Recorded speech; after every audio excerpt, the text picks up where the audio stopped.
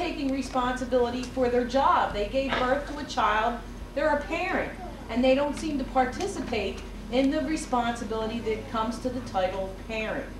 And that's what I think we should start to figure out are ways to uh, help parents be the parent they're supposed to be.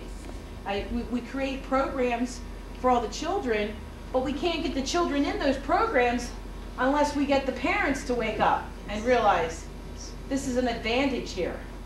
Take advantage of it. So, you know, I'm asking anyone here if you, you, you know of any ideas that could help us reach the parents that need to be reached.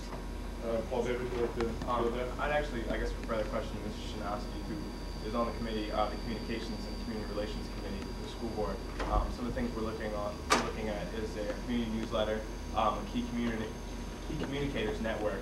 And I guess, Mr. Shanowski, if you have any comments about that, um, as far as reaching out to the parents who haven't already been, you know, don't already know what's going on in the school district. would you'd like to say anything about that, as far as how we're trying to reach out. Well, I think Paul raised some good points, and I think, you know, Mary Ellen's comment about how to reach parents who are not being reached, um, and part of that is some of the community programs and, and connections between schools and community programs.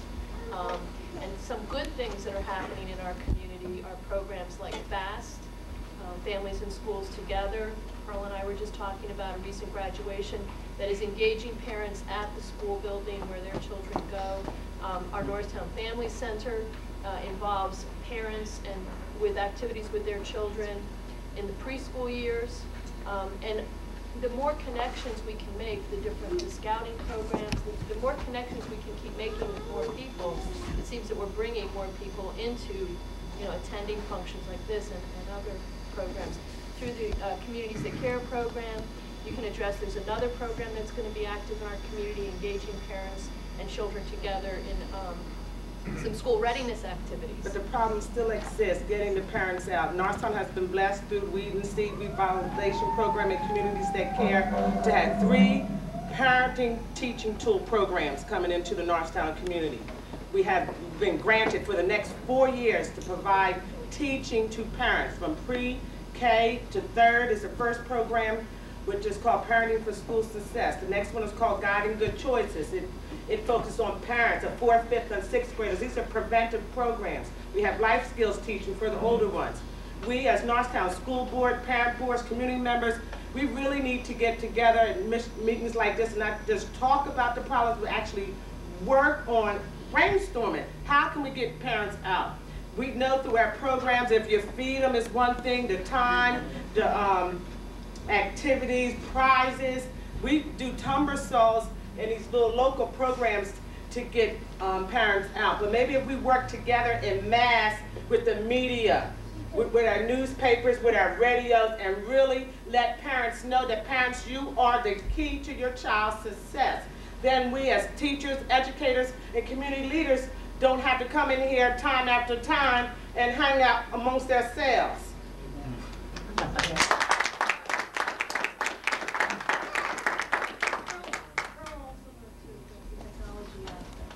Being that I'm the chairperson of our technology committee for the school district, uh, my thoughts are going to expose the parents, and I'm not making excuses for parents, but a lot, we have working parents, and they're not available to get to meetings during the evening.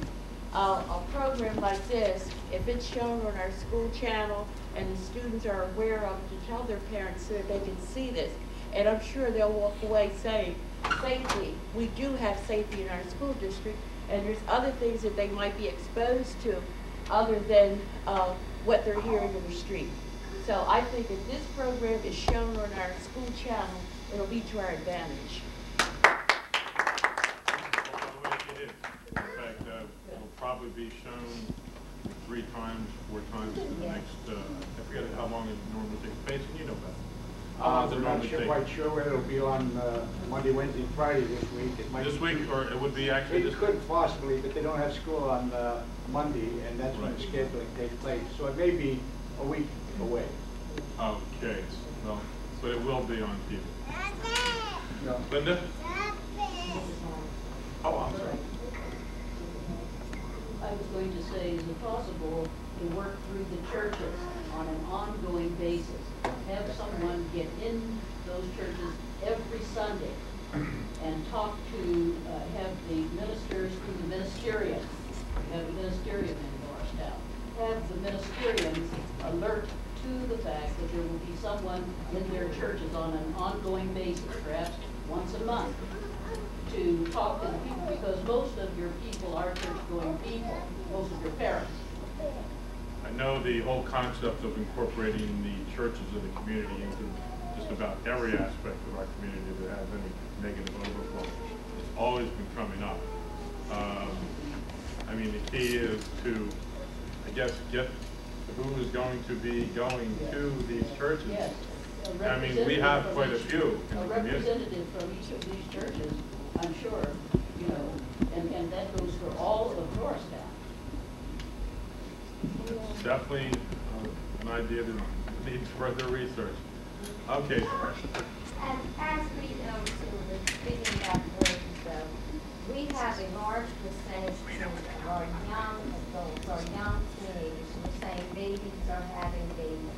And that is a really, a big, big problem in that.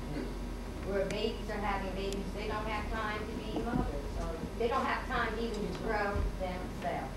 So that is a big problem. So the clergy, that would be a good impact for them to get involved because the community, when the, you know, when the church is out of order, then the whole community is out of order. So I think the clergy, uh, they should, you know, play a very big role. Now, how we gonna get them, well, I mean, this is our, you statement of what we should do, but they should start taking more interest too in the community.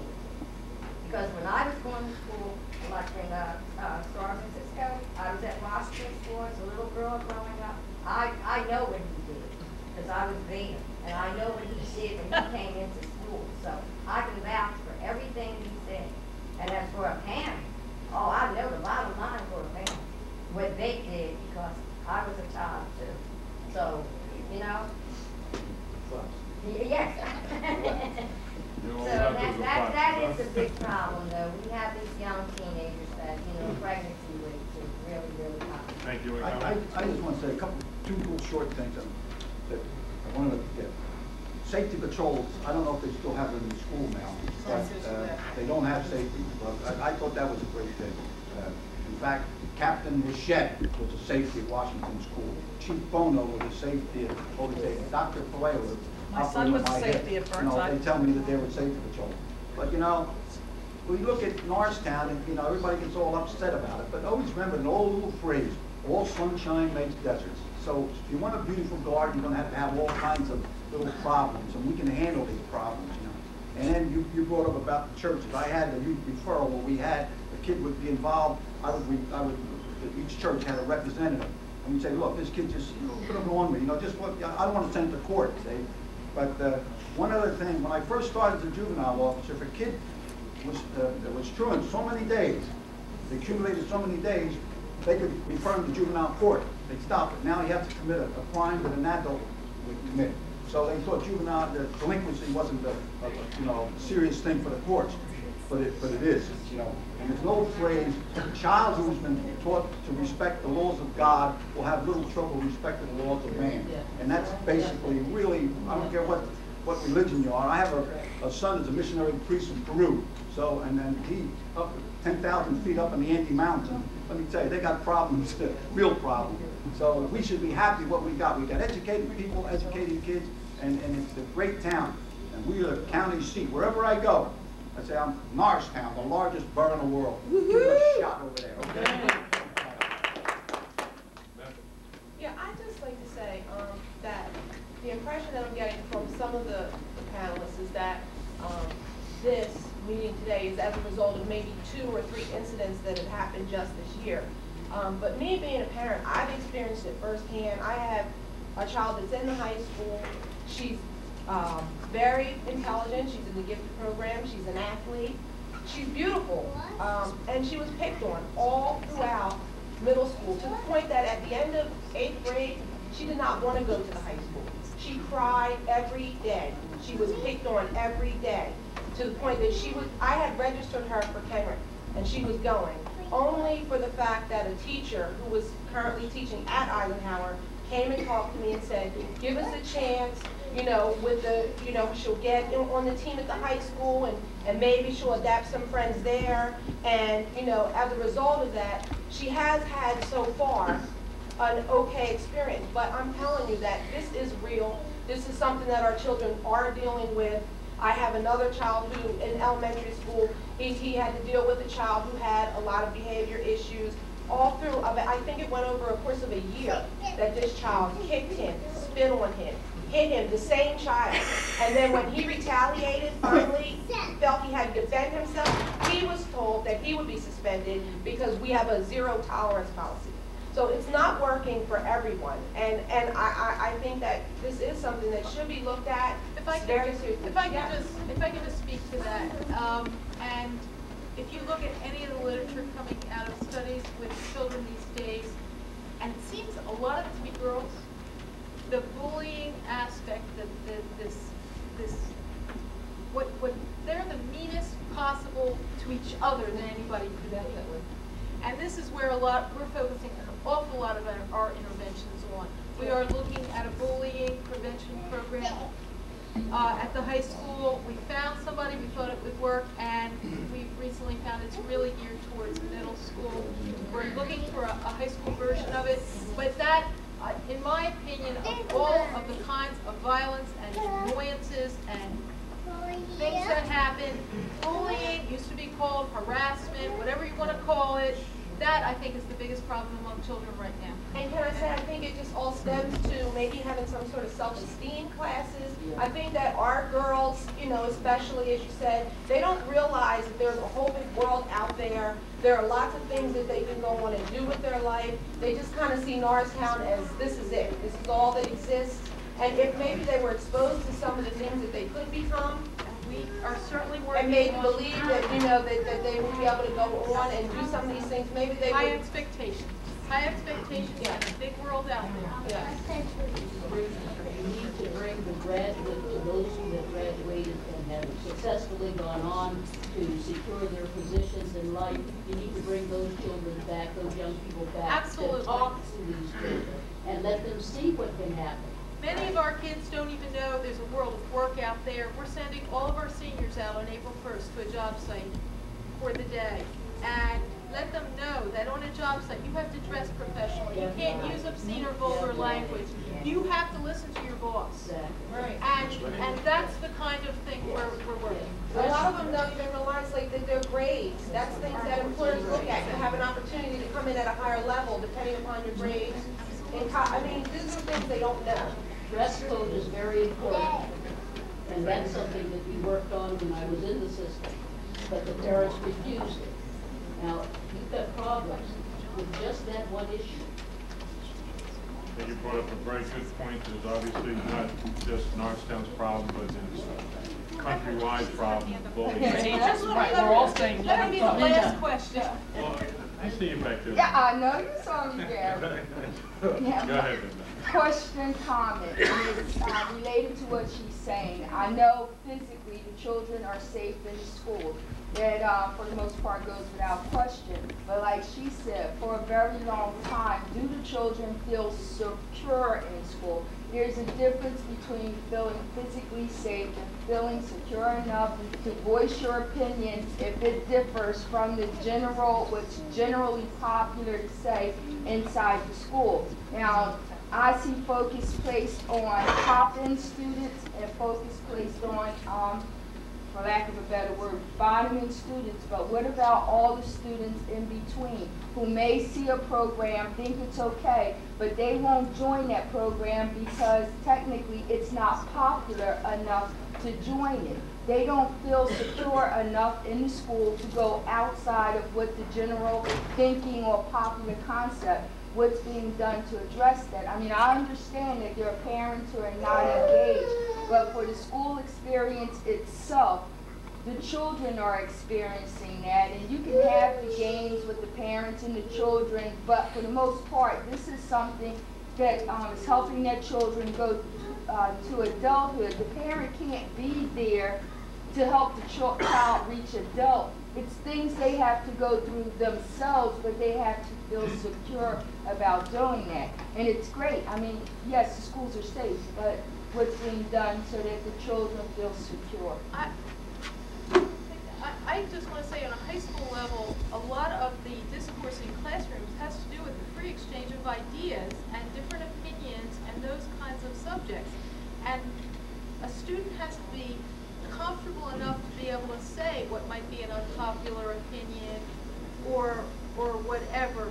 And the teachers work on that on a regular basis. And it is an uphill battle. I won't pretend it isn't. And it should happen and we work on it, but I, I think the one thing we've gotten today is, this is a lot, I like your little hand symbol. It's a whole lot of efforts that need to be. We have a wonderful parents club at the high school, which is very unusual for a high school. High schools traditionally have, you know, two people in a parents club. We have forty to sixty people in our parents club, and they are fabulous. But we have seventeen 99 students, where are the rest of those parents? And, and that's what we try for, because they're part of the, the interchange too. Bill? Uh, Couple things, um, to go off uh, some of the statements that were made. I think one of the things I picked up from what Hank was saying, uh, I work in an alternative school, um, so we, and I know Dr. Jaffe has as well.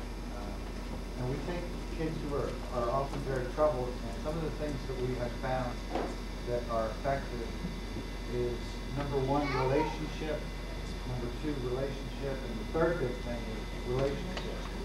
Uh, rewards and punishments often aren't as if, as much as if you know something about this kid and can relate to them. And it goes even further with the parents. I think a lot of times, we as teachers do not communicate with parents until there is a problem.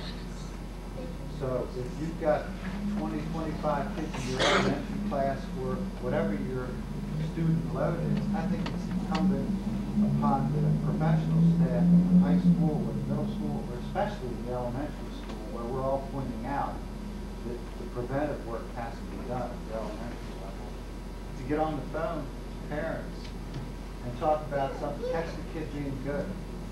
Uh, and if you get that parent hooked, or you get that kid hooked in a relationship, somehow trying to understand what he or she is going through. Uh, next time you call that parent and remember I said he was doing well, well, today we have this going. And it's a lot different than if that's the first time you ever talk to that parent when you have a big problem. We started a bully prevention program at our school. It comes out of, uh, I think, Sweden, Olweus. Um, and the intermediate unit uh, has trainers who do that work as well. And the whole, and bullying has gone way down in our school because the major emphasis on the program is it's, we're, it's important to us. It's important to the staff. We have posters, we have expectations for kids. Don't, if you see somebody being victimized, don't stand by. You know, don't let somebody be bullied. And we have class a couple times where we talk about this kind of thing, about getting involved positively. It was interesting to me earlier in the week when we found out that on one of our buses on the way home, that a kid pulled a knife on another kid. And it came out through the school district in the eastern part of the county, because we take kids from all over the county. And we got the word, and by the time we got the word in school as staff, the kids already knew that kid had a knife in the school the previous day. But nobody said anything.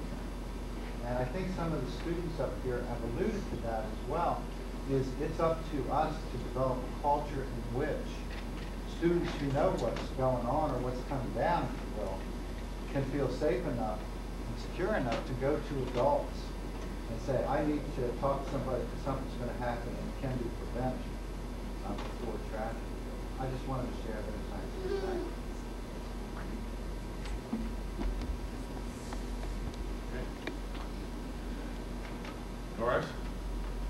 you all stems down really to parents and, and um, the home. If the parents are not doing their job like we live saying, like all of us are saying, it's, it's difficult for to, if the child from infant to five, if they haven't gotten something from infant to five, and then go out and then get into the school, it's hard for you, me, or anybody else to train a child. The, the word of God says we have to train up the child in the way he should go. So it all stems down to what God says to do. And if we do what the Lord say do as parents, when we get that time to be parents, then we get success. I don't know how many of you are aware of it or not. Um, our Norristown Education Association, which is our teachers, are, um, they get a lot of negative publicity too, um, whether it be for health benefits or whatever other things, salaries that they may command. They give books to all newborns in the hospitals. Um, this is money that they donate to the, to their group, uh, to do that. The parent is the first teacher. And the parents have to know that, and they are their first and only teacher for quite a long time. So that the fact that our teachers are doing this, should, they should be commended for that. Um, and I don't think that they do get the recognition on that one. They also give, uh, grants to organizations that are dealing with our kids, uh, on the outside. Uh, there was an article in the paper on that one this week too, if, if, if you, um, if you happen to have seen it. These are things I happen to know, but it's stuff going on that is kind of quiet. But people, you know, as Karen said, people are working in a thousand different organizations, but we do need some coordination. But how we get those parents, I can remember when I was president of Burnside back in the nineteen seventies. We tried to get people from, uh, this was just when, um, kids started being bused all over the place, and we tried to get other people. We offered to go down, to go to, um, their homes and pick them up. We sent buses out. Um, we had coffee clutches in, in homes. We did all of this. You might get one person, you might get two. Um, I don't know the answer to this question on how to get the parents. I've served on a parent involvement committee for the state. Um, I, I don't know the answer. Uh, there are a lot of different answers, a lot of different ways. And one of them is getting the kids involved in activities in school. If the kid's at a play, the parent comes. If the kid sings, the parent comes. If the kid's in the sport, the parent comes. We're hoping junior ROTC will do this too. We're hoping that a lot of different programs will do this. But it's incumbent upon the parents and the staff to encourage kids to get involved in extracurricular activities. To me, this is one of the most important things going. Um, I went to Blackburn, and I heard the issue about the parents, and I heard the issue about what's going on in the school. Um, I serve with Regis for President of Parents Club, I'm on the task force at the high school. I serve on the discipline, discipline committee. Um, the is that one, I don't think that we could get any parent to say that they're a bad parent. They're not gonna say it. If they feel like they have a problem and they feel by being a bad, a pa- parenting problem, they're probably participating in the parenting program. The key is, and Ms. Huss just said it is, we have to provide programs that are going to work with these kids. If, it- if we don't do that, we're going to be losing and losing more and more youth to this community. Um, and the elements, the negative elements out there. The more we produce programs and they get them to participate in programs, then we will get the parents drawn in. But overall, we will be able to build the relationships that Bill was talking about with kids. And that's a key part. So that we as outsiders can come in ourselves to them. I'm, I run the Carver Center. Do I kick kids out of the Carver Center? Very rarely. Why? Because I deal with them. I build relationships with them. I talk to them. I tell them if they have problems at school, let me know so I can call school. If they're having problems at home, we call the home. We have to build these, these relationships, and it's going to have to come from us. Unfortunately, no parent is going to say they're bad. They're not going to say they're bad. If we bring them in here and tell them that they're bad parents, I'm sure when you come up, when they come up to the school to uh, deal with discipline problems, they come more so to say, why you call me? You're supposed to be dealing with this. We, I send them here for this. They're mad, they're mad about themselves, they had these kids at a young age, and so unfortunately, it lies in our hands, and if we're gonna be leaders, we're gonna be educators, unfortunately, it's a big burden, but we have to come up with solutions, and I think it's program is programming and getting them involved. And I'm really, Dr. Jackie used to say it all the time, I'm for mandating it as far as part of their punishment, that we have to mandate them to participate or build it into the some type way. Private schools, private schools make their kids participate in some program within the. And the parents. So, you know, Yep. yes, and parents get involved. So we need to start mandating some of these things, and then we'll probably have a better problem youth coming in and going into the Uh, my question is, are there programs in the schools to help them learn respect for people in the community?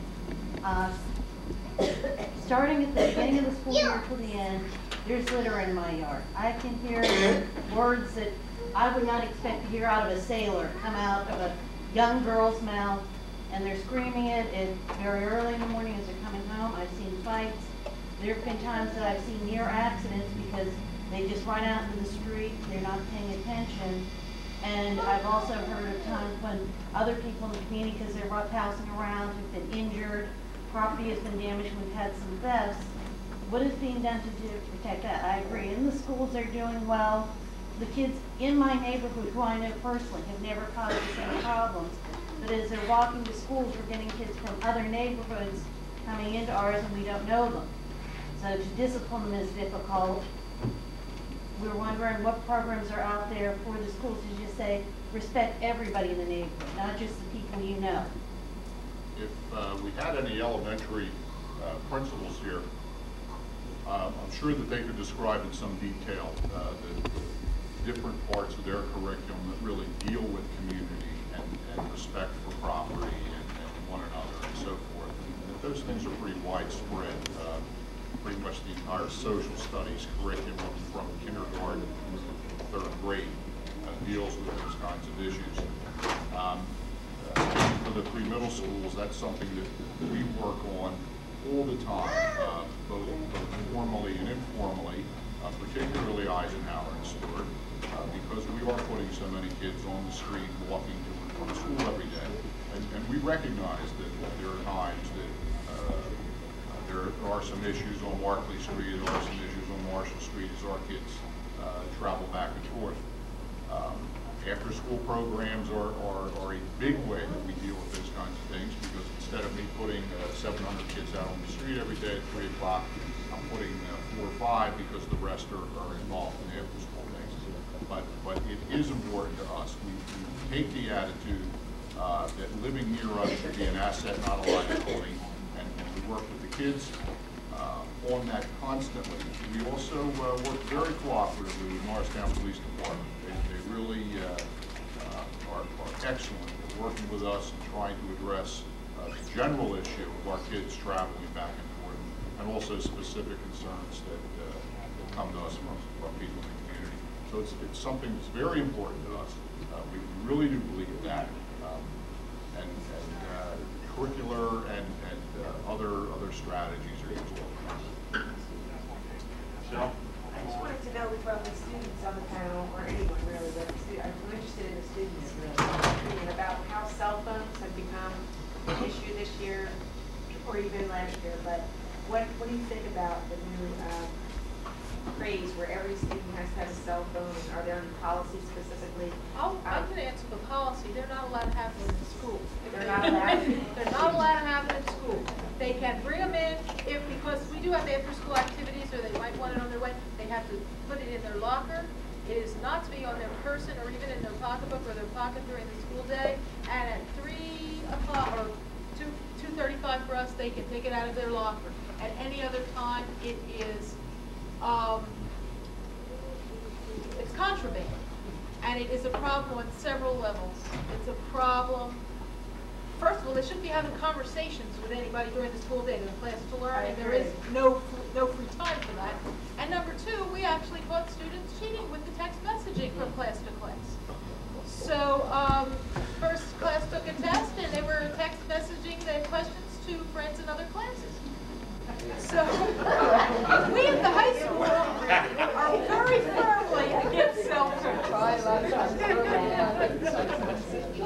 Gary, Gary. Um, is there, is it okay to hear from one of the students? Oh. That was- but I just had to get that in. Yeah, that was so interesting. Um, at our school, I go to Renaissance. At our school, we're not allowed to have this. Some, there's, I don't know if this is true or not. Definitely, definitely. Is there like a state law not school anyway? Pagers are not allowed in any school, uh, and that is in the Public School Code of Pennsylvania. A set, the cell phones are a new thing. I do have two students who are allowed to have them because they're paramedics and they are ambulance, uh, travelers. Yeah, That, they're that's- the, only two of the, of the eighteen hundred kids that can have a cell phone. Yeah, that's the same at our school. We have like EMTs and stuff. They have theirs. But um, at our schools, they have to stay in our locker. Very rarely do all the students. Stay. I keep mine with me on me all the time because, like, especially after September 11th, that's when we saw the increase. I'm not blaming for September 11th. People want to stay in contact with their family, I guess, just in case anything were to happen. And our school is located in the zone uh, for evacuation, in case the Limerick power plant went out or something like that. So a lot of our students do carry them. But um, there are some students that do text messages and stuff like that, but they can get taken away. But I feel that I should be able to have my cell phone with me. I mean, it's not on, I'm not calling anyone, but that's my personal. I think, I think that, that that rule needs to be told to, um, a lot of teachers and a lot of adult supervisors, because like we, keep- like we keep saying, this whole point, we said that if children are reprimanded all the time, they're not told to, that you have to uphold this rule, that you can't carry your cell phone with you. I mean, there's been plenty of times I walk down the hallway past teachers with my cell phone, and nobody, nobody said anything to me, which does, which doesn't make it right at all. But if you don't keep, where, you know. School are you at? I used to, I used to go to high school. What school are you in now? Um, I go to school at home, on the computer, so. Okay. Uh, Lisa, you're at the high school, you want to respond to it? Um, if we, if we have our cell phones in class, you know, if the teacher does say something to you, I've seen it happen with other students in the classes. And, um, I mean, I feel we should have them for after school, for after, after school activities, but during school, they are pretty strict about, you know, keeping them away. You know, they're not really supposed send you to put anything away in your locker, but in the case they will tell you to put it away, they're pretty strict about it, I think. Don't you think you should have common sense to put them away or telephone? Everything's common sense, It should be you know, Teenagers, teenagers, teenagers, right? Common sense, teenagers and common sense, almost an oxymoron. We have to uh, wrap it up now. I'm sorry if you have any uh, questions still, but um, comment. Okay, if you look at the elementary school discipline code, right in it, it says teaching appropriate behaviors. And all those things that you talked about, the kid, they teach. If, and what they do is they, they don't teach it, well, they do through social studies, but they don't teach it, if something comes up, they teach it. They stop what they're doing, they document what they've taught, so that they're teaching kids now when it means something. All right? And that's one of the ways they're doing it, but read your discipline code. So it sounds like from what I'm hearing, is everyone needs to know the laws, then the laws have to be enforced, and it has to be done equally. I think that rule can go through society. Okay, um, we're wrapped up for today. Hopefully we'll see y'all back here on the fifteenth. And my panelists will hang around for a couple minutes.